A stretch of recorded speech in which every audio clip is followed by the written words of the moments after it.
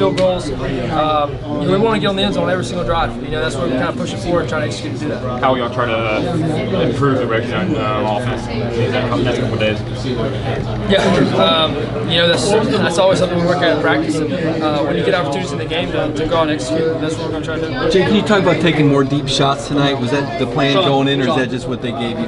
Yeah, um, you know it's just kind of part of the game plan. Let's go out and let's attack them uh, and, and take advantage of uh, you know uh, the, the players they had out there. And uh, I think the offensive line did a great job of holding up in pass protection all night. And guys went out and made plays tonight. Jake, I think you were 24 29 overall. Were you happy with that? Uh, I had no idea. Um, trying to do the math in my head. I, hopefully that's over 80%. Um, you know, pretty good. Uh, I knew they took a, a couple plays away, um, you know, with the, the pass interference and uh, the out of bounds um, occasion, but um, you know, you know, felt felt good. You know, it was, it was a little bit uh, windy in there, a little bit. Hopefully, they didn't have too much to do with the ball. So you know, we'll go back and look at the film and hopefully get better. Know what Joe feel like coming into this game. Y'all would have to just they're trying to do. Yeah, uh, you know, we wanted to attack them up front. You know, physically, we feel, you know, with our offensive line, we got go out out, physical anybody, and uh, we really think the, the outside receivers and you know the receivers in general uh, went out and they took advantage of matchups and, and played really well. How, how, hard did Ron Harry run tonight?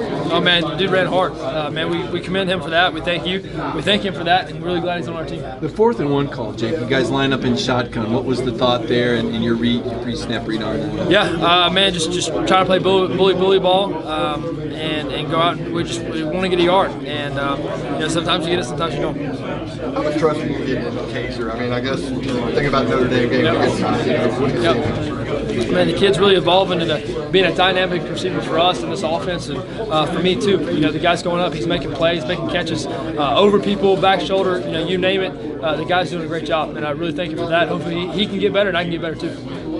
I think y'all were about balanced on rushing and passing. Right? I mean, is that type of offense y'all come out to do every game? I mean, Yeah, um, you know, part of it, uh, part of the game plan, uh, part of the plays being called, um, and we just want to go out. You know, whatever play it is, let's go out and execute it and uh, get as many yards as we can.